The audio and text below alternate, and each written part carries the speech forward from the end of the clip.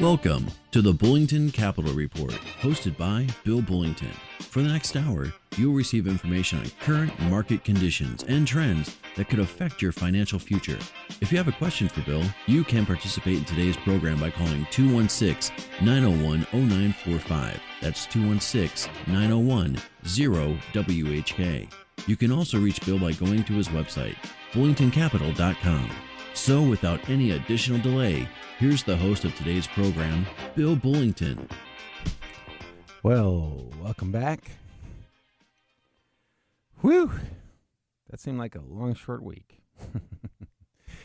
anyway, hey, I'd like to first start off by thanking everybody that came out to Thursday night. That was great. The weather was really bad. So, well, actually, it, cleared up a little bit by the time the seminar started, but thanks for showing up. It was a, uh, a lot of fun. Um, in the future, I'm going to start to do these a little more frequently, uh, but I'm going to break them down. Instead of doing two parts in one night, I'm going to do two separate ones that are shorter. So I think that will probably be a relief to uh, everybody, not having to listen to me that much, but uh, um, and also just uh, a little easier. So we'll, we're going to cut them down. We're going to be roughly about 45 minutes, and then I'll uh, h- hang around and answer questions because that's really where people, I, I really think people get the um, a lot of value, a lot of benefit from doing meetings like this is being able to ask and, and get their questions answered. So stay tuned. That's developing. Uh, we had talked a little bit at the seminar. Actually, we talked a lot about the upcoming website, the sister station or sister site to Bullington Capital, and that's lookoutforthebull.com. The uh, I did copyright that, by the way. I went back to check and I saw that uh, uh, Schlitz Malt Liquor had not copyrighted it back from the 70s. That's not where I took the. Uh, I, I wasn't thinking about it in those terms. I was thinking about looking out for the bull, all the bull that you know it's always circling around Wall Street and stocks in general. But uh, and then it happened to dawn on me. Boy, I wonder if uh, the Schlitz Malt Liquor Company had actually copyrighted that, and uh, and they hadn't. So, well, not copyrighted, but uh, yeah, it was copyright. Yeah, I think it was copyright or trademarked it. Yeah, trademark. So anyway, I applied and got the trademark. So I guess I can. I guess it's safe for me to use. It is a, a pretty common phrase anyway. So that's a uh, that's going to be coming up. So stay tuned for that because it's uh, look out for the bull. Um, it's for traders. You know, I get a lot of uh, um, a mixed feeling are mixed emotions about trading from a lot of different people. And uh, trading and investing are not the same thing. They're not. And you always hear Warren Buffett and all these guys talking about, well, you shouldn't trade. Most traders die broke. And that's true. Yeah, it is. It's true. Um, but you don't want to be most traders. And you can make a very good return on trading. They just don't know how. Quite frankly, they're too big to do it anyway you've got more than a, a couple million bucks, you're not going to be able to trade, not with that kind of money, um, because well, you will in certain market environments. I shouldn't say that. The vast majority of the time, it's going to be very difficult to make any money when you're when you're doing it with millions. If you're not doing it with millions, it's not nearly as difficult. In fact, it can be quite profitable. So I look at it as a hobby. It's a uh, fun. Actually, I keep kidding around. It's I I think it's the most fun you can have without going to jail. and uh, so that's why the website's going to be up there. And I'm going to teach people how not to lose a lot of money. You know, trading is risky. It's aggressive, but not if you do it the right way. Well, it'll always be aggressive. Uh, it just ha- doesn't have to cost you a lot of money. And uh, handling your losses is the key if you're going to trade. Now, if you're going to be an investor, it's a different story altogether. Uh, investing is a lot different. I happen to be a quantitative investor, the same as Ben Graham was, who was Warren Buffett's first employer and graduate school teacher. So um, I, there are things that I agree with on uh, for a ton of different things, and I think it really helps to have a flexible mind, uh, a flexible, actually a flexible mindset. There's no one best way to invest or trade or to make money in, in financial markets. There is, however, there are probably, probably anyway, better ways for you as an individual investor to make money. And you won't know what they are until you're exposed to them, until you try them. Now, you might have an idea, especially if you're above the age of 50, you'll have an idea of what you might like and what, might, what you might not like. And uh, if your sole purpose is to make money and you don't care much about anything else, then you can trade or invest, which is kind of what I do because that's more important to me than anything else. Just that I'm able to make some money over time. If you have a uh, inclination towards buying stuff and hanging on to it forever, okay, then as an investor, you'd better get really, really, really good at reading financial statements. And you'd better study businesses to figure out which businesses will actually even be here 10 years from now. And I can tell you that thought does not cross the mind of somebody who is a buy and hold investor 99 out of 100 times. 99 people who say, I'm a long term investor who are going to basically buy stuff and hold on to it, never think about whether or not that company will be here 10 years from now or what they'll be doing 10 years from now if they're still around. And IBM's a great example of that. That stock has performed horribly over the past 20 years. Not very good.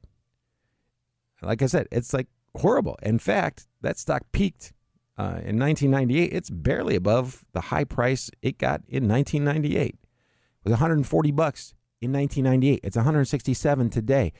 Let me put that in perspective. That's like a $14 stock being $16. Same percentage movement.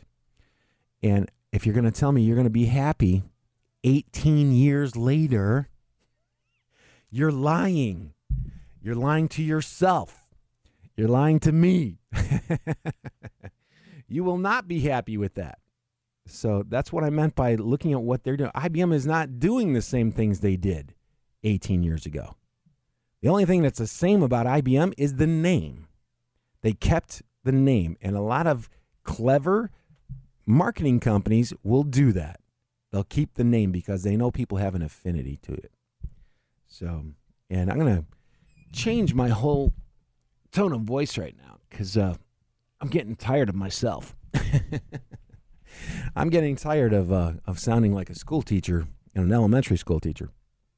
The uh, uh, it's tough, but those are you know, and the reason I take that tone is those are very important points, and the the people, and you know who you are, you recognize what I'm saying. You're the, actually the ones that respond to that very negatively. because you realize the truth in it the uh, the people that aren't like that are laughing because they know people like that. and uh, so I'll stop. But uh, if you're gonna, and just let me clarify, if you want to be a long-term investor, where you you know like Warren Buffett, then you need to pick companies who are going to be in business 10 years from now and will be doing the same things they are today. There's good news and there's bad news for that. The good news is the list will not be very long for you to have to look at. You can take any technology company and throw them out the window. We have no idea what they will be doing 10 years from now. Uh, we won't even we won't have any idea whether or not the semiconductors that they're using. Like you look at Intel, Intel suffered a very long drought, not a good time period. Why? Well, Intel didn't think that the uh, cell phones and iPads and all that were really a threat to PCs. At least that was the impression I got reading the uh, management's discussions over the years. They didn't think that was a big deal. That you know PCs were still going to dominate, and guess what? They didn't. People moved to cell phones. You say, well, how can Intel make that kind of mistake? Well, they all look. Look at IBM. Look at the thousands of companies that have, have been delisted or went into bankruptcy or were bought out by another company because their business went to crap, basically. Yeah, that happens all the time. So buy and hold investing is incredibly difficult. It's incredibly difficult. You've got to try to identify companies that are going to be in business 10 years from now doing the same things they're doing today. Who will be doing that? Hershey's will be. You can bet on that a lot of the Procter and Gamble products will still be the same. I mean, people are still going to brush their teeth. People are still going to wash their dishes and you know, and their clothes. The uh, might be wearing different types of materials, but you can bet they're still going to clean them. So those are the types of companies um, that uh, you would want to look at if you wanted to be a buy and hold investor. And, and I don't know why I would even talk a whole lot about this. In fact, I'm going to stop because I don't personally I don't agree with it. I think that is too hard. I think there are easier ways, more logical ways of managing a portfolio. And, and by the way, that don't involve indexing. The uh, indexing for me is the last choice. If, if it's the last thing I can do on the planet, that's what I want to do. Yeah, if I don't have any other choices, if I were given the choice between uh, stocks, bonds, cash, or real assets, things you can put your hands on, and uh, the only choice in the stock box was an index, I'm going to say, okay, I'll take the index. But that ain't how Warren Buffett made all his money. the uh, so I'd rather have individual securities, but that that's me. I'd rather have individual securities. I'm going to buy. I'm going to diversify uh, sufficiently, and sufficient sufficient diversification. I guess really depends on who you're talking to, because that's just like politics and religion. You know, their beliefs about money and money systems that are as strong as politics. When you hang out in my industry very long, you find out really quickly people have hardcore beliefs about how you should manage your money. Same as they do politics, same as they do religion. It's amazing. In fact, I've come up with a uh, little theory that people operate exclusively on belief systems on everything in their lives. But, you know, that's for somebody else's radio program. Mine is uh, focusing on investing and investment planning. People very they, they don't spend a whole lot of time planning their investments. And I understand. You know, there's a lot of stuff. There's a lot of stuff written. You're going to read and you're going to spend a lot of time trying to understand and know just to realize that you didn't need to know that. Okay? Unfortunately, that's part of the process. And there's nothing that we can really do about that. That's why I'm doing this show. Big part of this show is to try to cut down that learning curve. One of the ways to cut down the learning curve is to explain various concepts the it, the best that you can. And I'm going to try to break it down for you the best that I can. Not a buy and hold investor, not an indexing investor. You know, people look at that all the time and go, "Well, look at the long-term returns on that." Yeah, but it's had a 20-year negative return. Can you afford to have another 20-year negative return in your lifetime? Can you afford that? We just came through a, a period that was over 10 years, 10 years let me say that one more time 10 years with a negative return. If you can take that, by sure, you know, buy the S&P 500. No problem. If if you like that, then that's what you need to do. I just don't want to do that. I don't want to go 10 years because as poor as my luck is, the day I retire is when we start a new one of those 10 year periods. and then I'll be back to work. but the uh, no, ten years is, is just too long. And uh, and Warren Buffett, you know, John Bogle, they'll say, well, you know, that's just the way it goes. Well, maybe that's the way it goes for you. I'll take a slightly lower return if I have to, as long as I don't have a negative return over ten years. I don't care what your return in the long run is. I might not be here to to benefit from that. The uh, so I want to take a strategy, and, and b- by the way, everybody wants to beat the market. We all try to beat the market. That's what we're doing. That's number one name in the game. Try to be ahead of what you could do by doing an index. Uh, understand that you won't beat it every year. Understand that you might even go for five years. You might be lagging the index for a, by a mile for a while. Yeah, hey, that rhymed. The uh, but if your if your strategies have logic, like real logic, like they're based on something other than emotion, hunches, instincts, an article that you read somewhere in a paper, the uh, if they're based on real logic, and I'm going to give you some examples of real logic in the uh, second part of this show today. Each show has three parts, by the way. Second part of the show today, I'm going to go over some real life examples of logic that you can use to invest. Logic that I use to invest. And uh, I think you'll agree. It's pretty simple. And it probably makes more sense than somebody who ind- invests in an index fund like a Russell 1000, uh, which is uh, fine, or the S&P 500. I think they make more sense than that. Cause, and let me explain why. When you put money into a market cap weighted index. That phrase you should become familiar with anytime you hear it, or market weighting, or market weighted. There are a bunch of them. I need to put up a blog post on this now that I'm talking about it. The uh, um, whenever you hear that, what they're doing with the money is they're putting more money into the companies that are bigger than they are the companies that are smaller. Let me ask you a question. Do you think that a smaller company, a $2 billion company, is going to grow faster than a $200 billion company? Obviously. Is a $2 billion company going to have an ability to grow faster than a $20 billion company? Probably. So why would you put more money in the 200 million or the 20 billion dollar company than when you would put in the 2 billion dollar company? Because you don't know any better. and because you're it's popular. It's extremely popular and it's been incredibly popular since 2009. Since the the end of the crash, March of 2009, it's been incredibly popular for people to buy the bigger names because they didn't lose all their money. Well, neither did the other ones, by the way. A lot of the other ones. A lot of the smaller ones have gone up exponentially relative to what those have gone up by. And if you got a handful of those in your portfolio, it's probably helped you out, despite the fact that more people have been putting money into the bigger names first and, and they haven't gotten around to your stocks as much yet.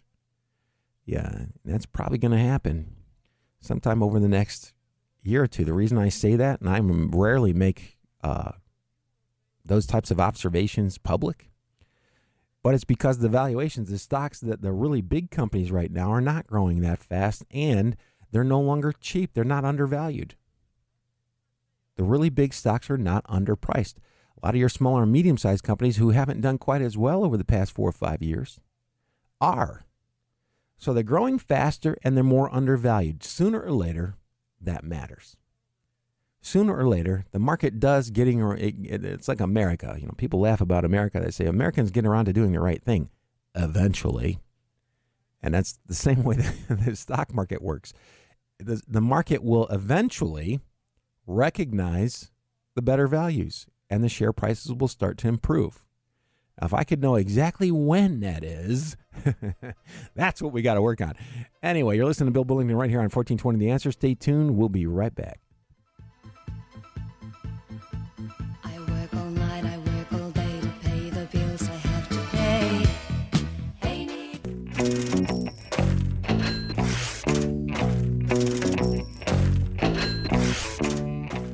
We're back. You know, I forgot to give out the phone number today. It's 216 901 0945. You have a question regarding investments or investment planning. The uh, It's what we do, Bullington Capital, investment, investment planning. Probably the number one most important item in the financial planning realm. Also, the one that is most neglected or just glossed over. That happens quite often. You know, people, uh, yeah, for whatever reason, See, my my opinion is if you don't do well enough in your investments, you won't have to worry about the rest of financial planning because you don't have any money to plan for. You hear what I'm saying? The uh, it takes a lot of money to be able to retire, and it, I mean a lot of money to be able to retire. And if you're interested in getting a retirement plan analysis done, we'll do it for you. And in fact, I can do it really quickly right here, right now. Just take whatever Social Security or pension you might have. Let's figure out what that is. Let's figure out what the uh, um, your income is. We need to take 80% of that, then subtract what you're going to get from Social Security or your pension. And then the, the balance there, we need to figure out how to fund that, how much money you need to replace that gap. And that's it. That's financial planning. how easy was that? Uh, it's easy for me because I've been doing it for a long time.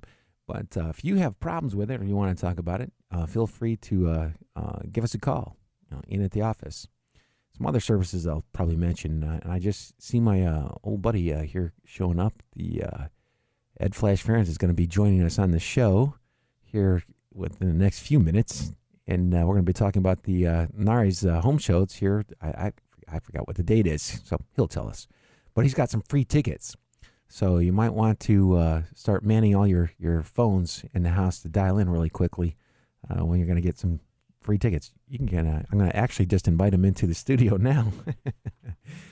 so hey, Flash, I just told everybody you're just walking into the studio. So I'll give you a second here to get uh, hooked up, and uh, you can move that anywhere you want. Uh, but yeah, so the home show is coming to town, and uh, uh, I always I love going to that. By the way, it's a uh, it's a great experience. Uh, and your home, incidentally, we were just talking a little bit about retirement planning. Your home is one of the bigger expenses that you're ever going to have in uh, keeping it up, taking care of it. you spend a lot of money on it, want to get a good value there. it is something you should be should be talked about more. I think with a, a lot of younger people, particularly and uh, um, anyway, I see I have a phone call coming in here. We're going to, uh, should I just pick it up? Yeah. All right. I guess I'll wait for a second. Get the board operator, find out who it is. Uh, see. And while we're waiting with the dead silence here, here we go. Frank, how you doing?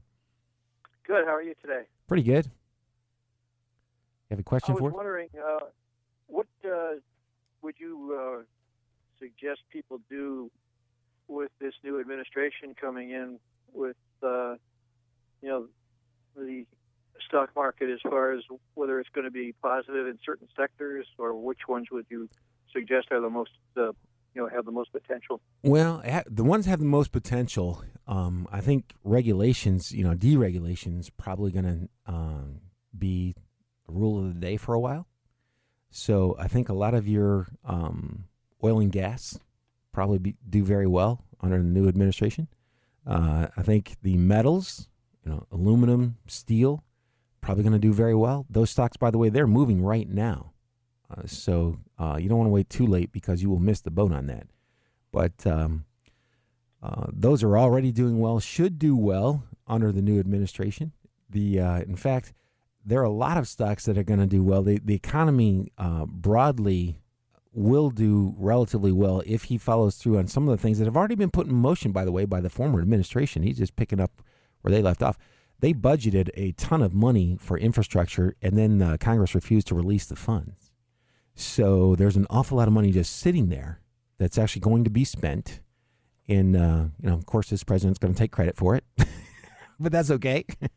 I don't care. What about as long as it gets the done? Utilities with what the EPA uh, is uh, still going after uh, utilities and trying to, in the automotive industry, trying to ratchet down these standards for the future.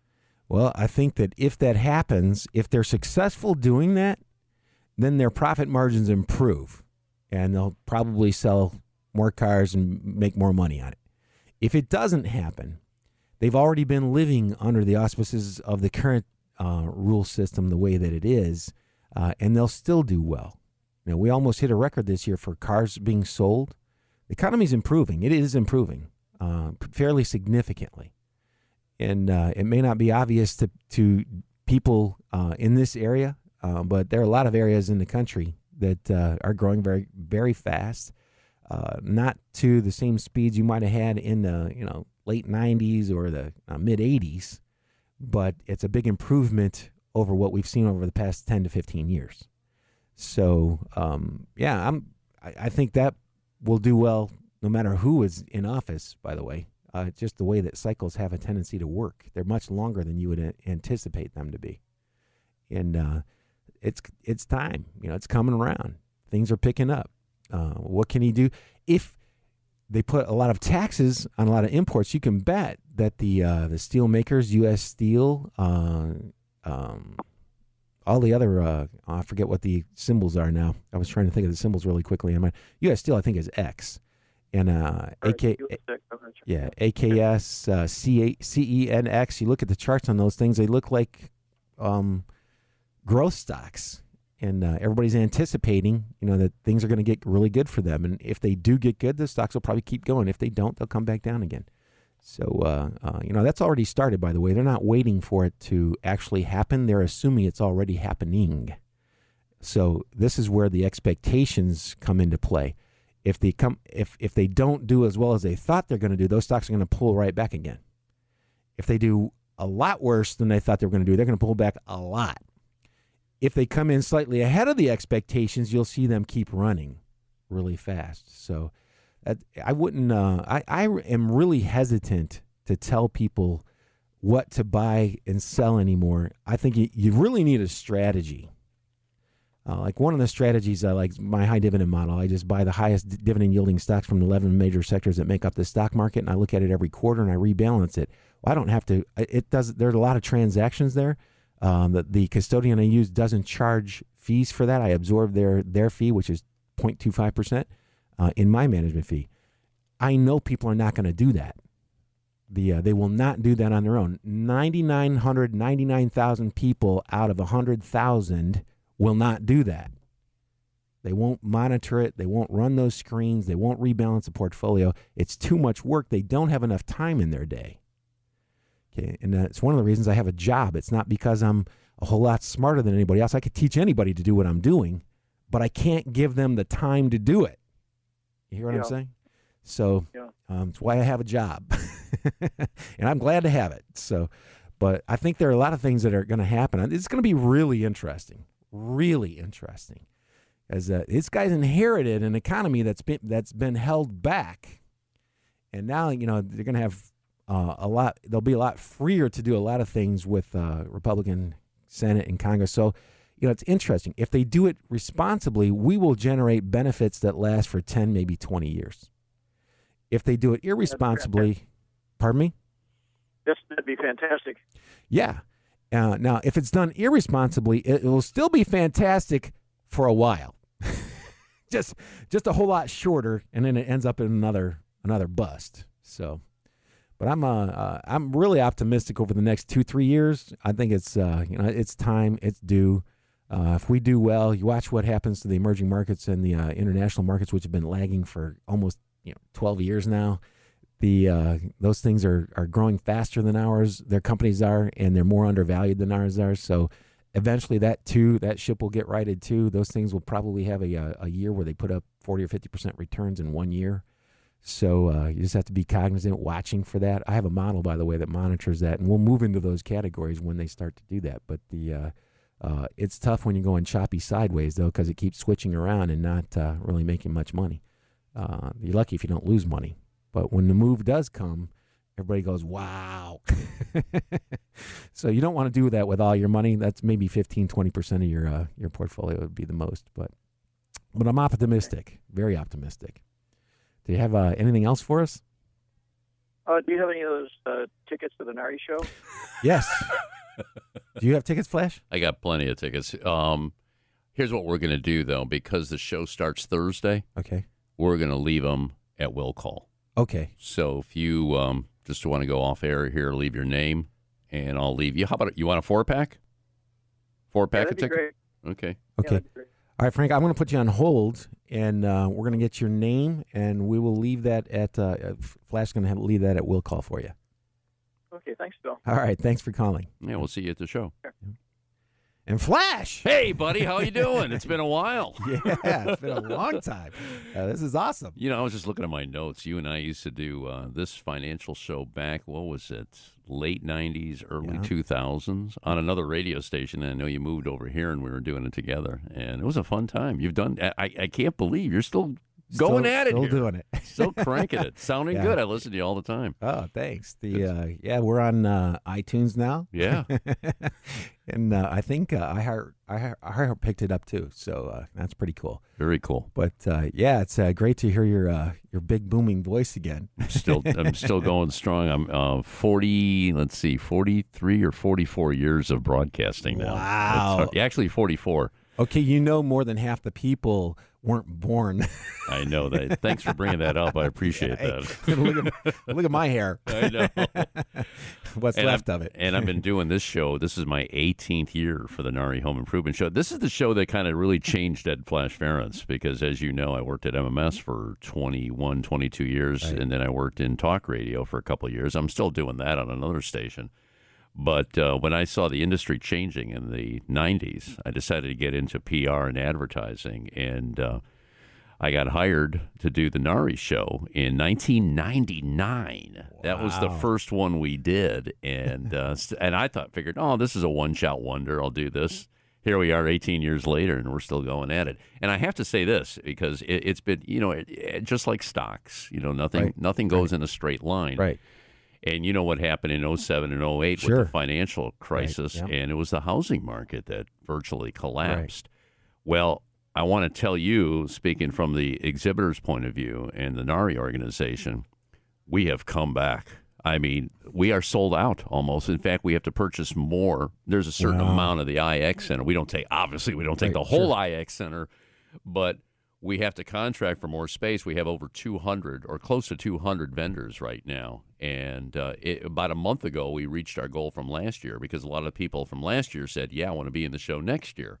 And they committed. So it's been wonderful. So all I can tell you is uh, from 2008, it's been it's been a struggle, but we've got everyone back and then some. That's so we're awesome. really excited this year. And we're seeing that all throughout the entire economy. I, I watched that uh, a lot close. It's a lot easier now since uh, a few years ago. Actually, it's only been three years now. I sucked it up and subscribed to a Bloomberg terminal. Uh huh. All right, well, that's like uh, the price now that I, I'm getting a discount. Right, it's like twenty six hundred a month.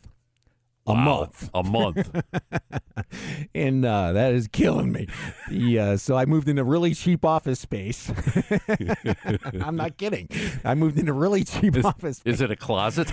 no, actually, it's very nice. I'm Yeah. surprised. The uh, I got it at a really good time because we moved there in 2009 and got the low real estate prices. You yeah, know, so because uh, of the crash. Yeah. exactly, Yeah, yeah. yeah. You got to So, take advantage of that. yeah, You know. that worked out really well for us.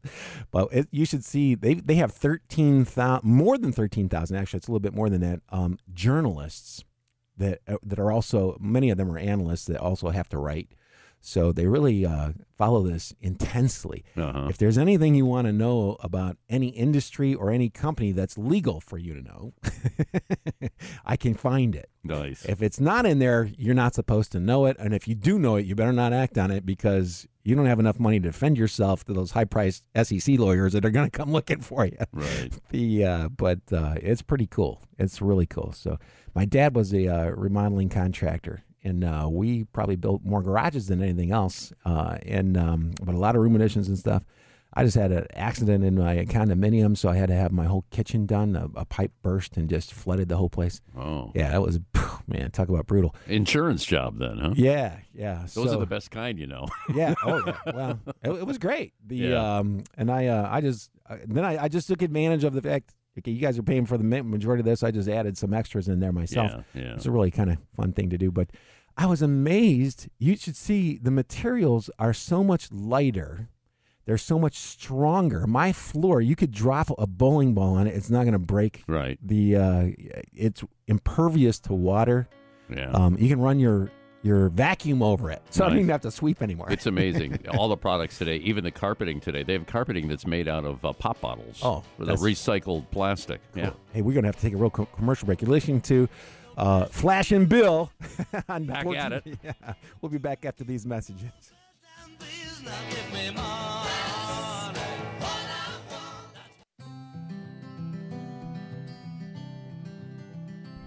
And coming back, it's the uh, Flash and Bill show this morning. uh, we're going to be giving away some Nari tickets. Uh, Flash, I'll let you talk to uh, the public about that. It's the uh, 2017 Nari Home Improvement Show, and it's the 36th annual Home Improvement Show. This is something that started back in the uh, 80s, and uh, like I said before in the previous segment, uh, it had some ups and downs, just like just like stocks. And we have come back with flying colors. About 200 vendors will be there. The show starts Thursday, January 19th. In fact, I'm going to be with Kenny Crumpton that morning. We're Oh. going to be broadcasting from the Nice. show floor uh, at the IX Center. And what we have this year, every year they have a different kind of feature. And this year, what we did, we took two remodelers, Remodel Me Today out of uh, Olmsted Falls and Land Creations Landscaping out of the same general area. They've been in the show a couple of years, but not Remodel Me Today. And we've created what we call the Master Suite Retreat. I heard in a commercial about that. I was going to ask you about that. Okay. That- that- It's almost 3,000 square feet. wow. And uh, think about that. that. That's bigger than most homes, Right, sure. all right? Yep. It's a master bedroom with a master bath, and from the master bath, you can exit this courtyard.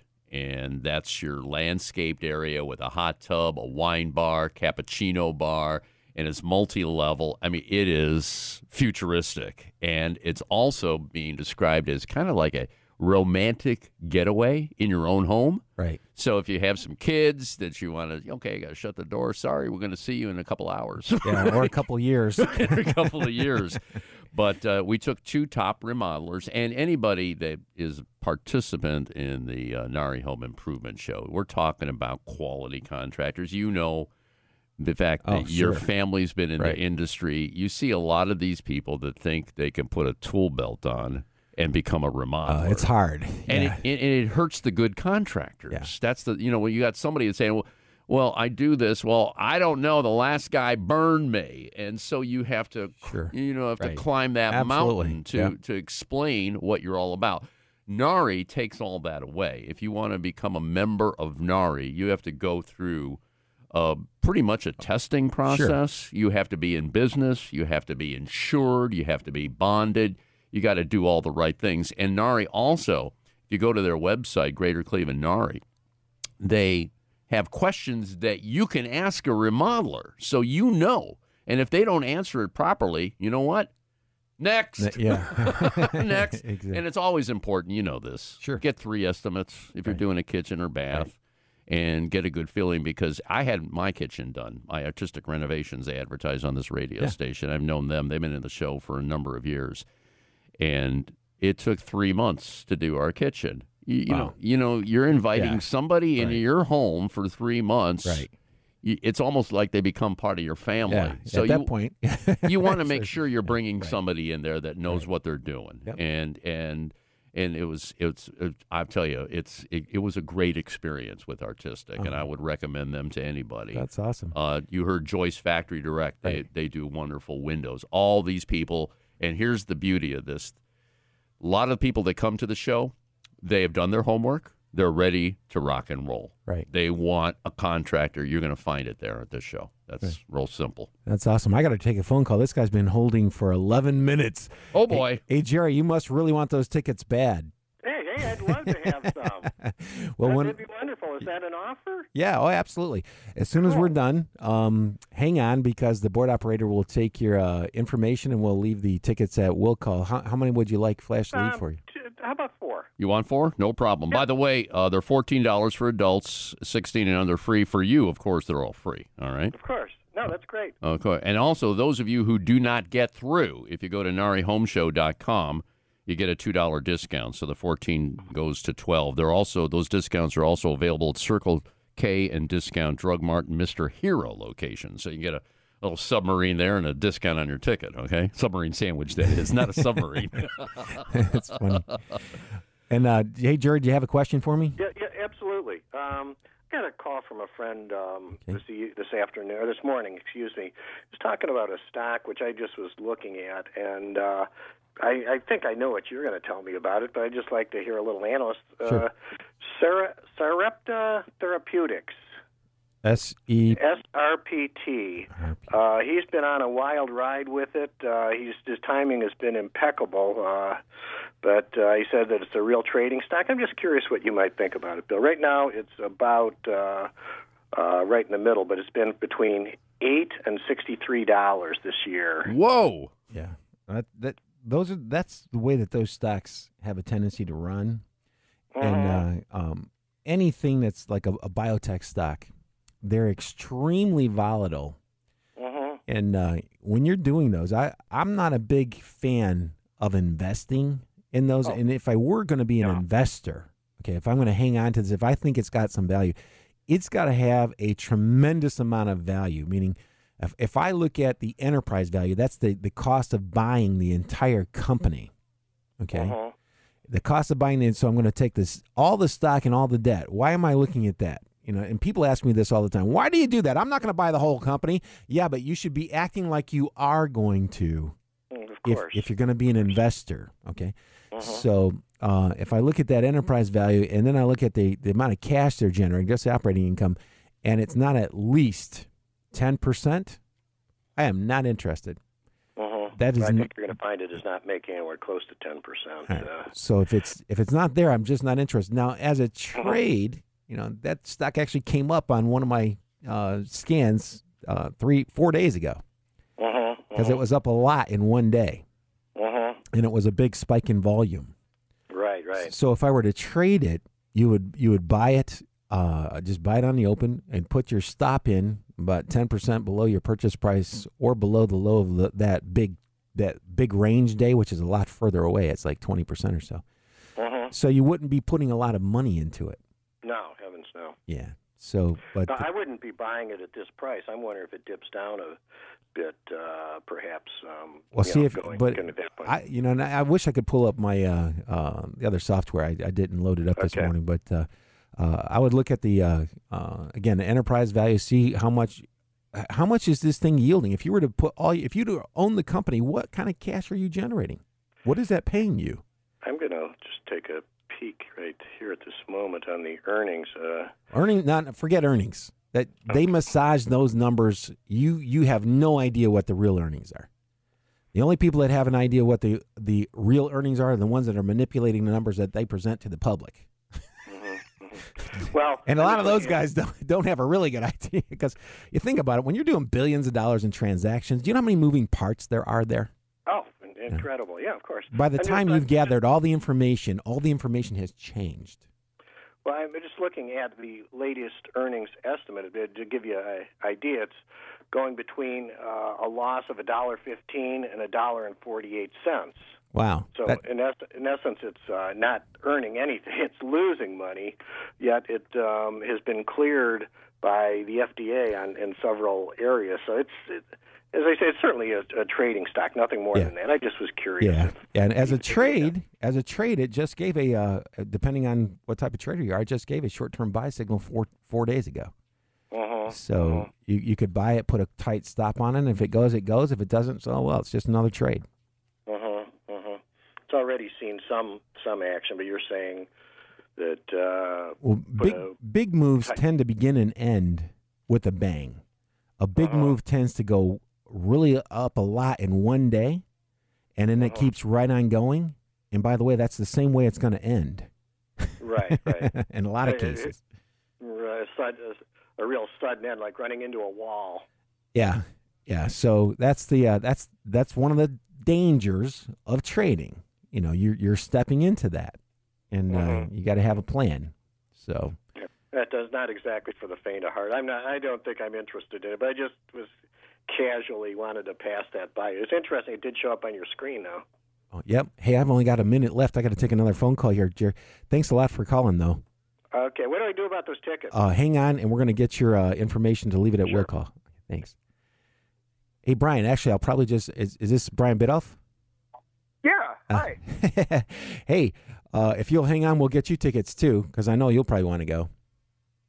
That's perfect. That's actually why I was calling. Thank oh, you. that, that that's awesome. Uh, Brian's a, a realtor, by the way. Oh, so okay. uh, and uh, he actually does some of this work. He's he's bought a couple homes and flipped them. Uh, probably inspired a little bit by HGTV, I think, Brian.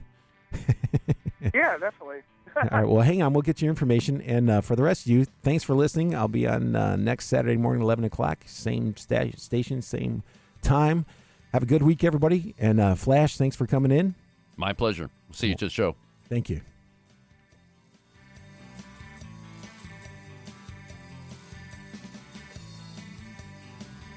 You just caught another episode of the Bullington Capital Report, broadcasting every Saturday morning at 11 a.m. on AM 1420 The Answer. If you have a question and would like to speak to Bill personally, you can call him at 330 664 0700. That's 330 664 0700. Or contact him through his website, bullingtoncapital.com. That's bullingtoncapital.com. Past performance may not be indicative of future results. Therefore, no current or prospective client should assume that the future performance of any specific investment, investment strategy, including the investments and or investment strategies recommended and or purchased by advisor, or product made reference to directly or indirectly will be profitable. Different types of investment involve varying degrees of risk, and there can be no assurance that any specific investment will either be suitable or profitable for a client's investment portfolio. No client or prospective client should assume that any information presented serves as the receipt of or substitute for personalized investment advice from the advisor or any other investment professional. The preceding program has been paid for by Bullington Capital Management, LLC. The preceding program's views, claims, or representations may not reflect those of AM 1420 The Answer or Salem Media Group.